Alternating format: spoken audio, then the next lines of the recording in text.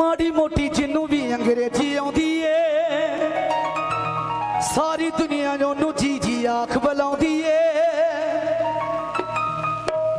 ਮਾੜੀ ਮੋਟੀ ਜਿੰਨੂੰ ਵੀ ਅੰਗਰੇਜ਼ੀ ਆਉਂਦੀ ਏ, ਸਾਰੀ ਦੁਨੀਆ ਨੂੰ ਉਹਨੂੰ ਜੀ ਜੀ ਆਖ ਬੁਲਾਉਂਦੀ ਏ। ਮੰਜ਼ਿਲ ਕਦੇ ਨਸੀਬ ਨਹੀਂ ਹੁੰਦੀ ਢੋਲਣ ਵਾਲੇ ਨੂੰ। ਢੋਲਣ ਵਾਲੇ ਨੂੰ। ਮੰਜ਼ਿਲ ਕਦੇ ਨਸੀਬ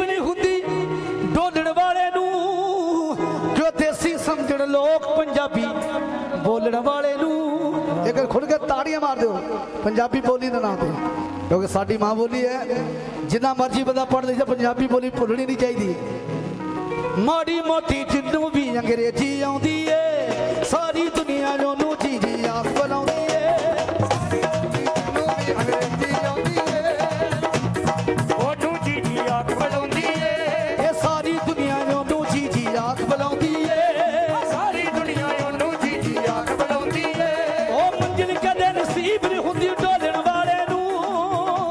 ਨੂੰ ਜੋ ਦੇਸੀ ਸਮਝਣ ਲੋਕ ਪੰਜਾਬੀ ਬੋਲਣ ਵਾਲੇ ਨੂੰ ਦੇਸੀ ਸਮਝਣ ਲੋਕ ਪੰਜਾਬੀ ਬੋਲਣ ਵਾਲੇ ਨੂੰ। ਦੇਸੀ ਸਮਝਣ ਲੋਕ ਪੰਜਾਬੀ ਬੋਲਣ ਵਾਲੇ ਨੂੰ। ਜੋ ਦੇਸੀ ਸਮਝਣ ਲੋਕ ਪੰਜਾਬੀ ਬੋਲਣ ਵਾਲੇ ਨੂੰ।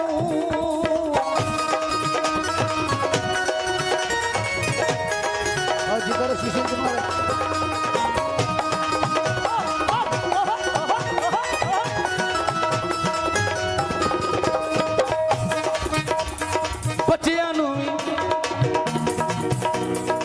ਬੱਚਿਆਂ ਨੂੰ ਵੀ ਰੱਖਦੇ ਨੇ ਹੁਣ ਦੂਰ ਪੰਜਾਬੀ ਤੋਂ। ਬੱਚਿਆਂ ਨੂੰ ਵੀ ਰੱਖਦੇ ਨੇ ਹੁਣ ਦੂਰ ਪੰਜਾਬੀ ਤੋਂ। ਇਹ ਬੱਚਿਆਂ ਨੂੰ ਵੀ ਰੱਖਦੇ ਨੇ ਹੁਣ ਦੂਰ ਪੰਜਾਬੀ ਤੋਂ। ਬੱਚਿਆਂ ਨੂੰ ਵੀ ਰੱਖਦੇ ਨੇ ਹੁਣ ਦੂਰ ਪੰਜਾਬੀ ਤੋਂ। ਐਸੀ ਵੀ ਕੀ ਗਲਤੀ ਹੋ ਗਈ ਬੋਲੀ ਸਾਡੀ ਤੋਂ?